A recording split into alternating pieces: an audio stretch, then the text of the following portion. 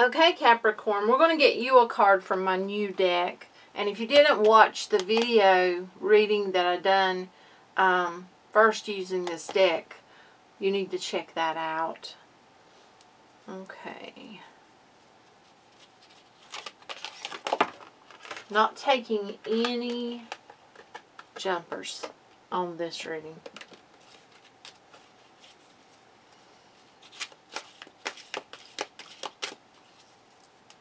And I'm pretty sure the name of that reading that I did, the first one, was uh, something like Lights Turning Green. Magic Happens or such. I have not had this many fall out for a different sign. I just keep trying to throw them. But I do not feel to take them. Okay. Yeah. And, you know, if you're watching from YouTube, please do subscribe and give me a thumbs up if you like the readings. Please do share them out. I love the comments. If you're watching from TikTok or Instagram, please do follow and give the readings a heart if you like them. And I appreciate all of the comments. And please do share out the readings. Thank you for being here, being a part of our soul family. Okay, Capricorn. Let's get your card. Oh, you got appreciation number 25. Someone else got this one. I'm not sure who it was, but someone else got this card, or it was either in that first reading that I told you about, which is possible. Okay.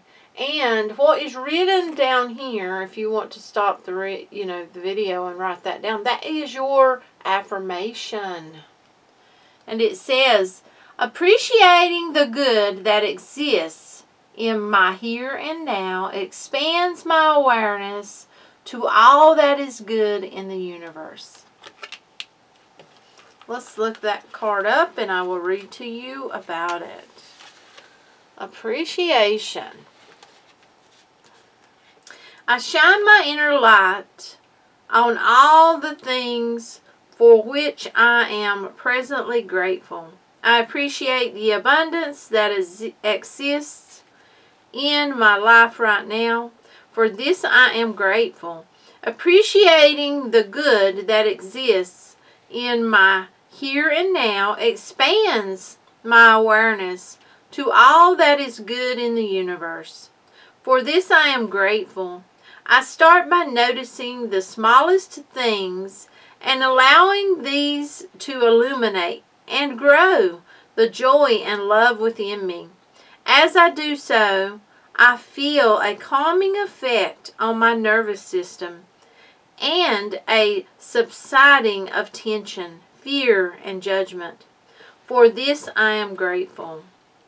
You know, being grateful can really take us a lot further um, as far as, you know, manifesting what you want and such. And just, you know, being grateful, I feel like it does give you a calming and it, it you know, it shows you that the, the little things do matter, you know.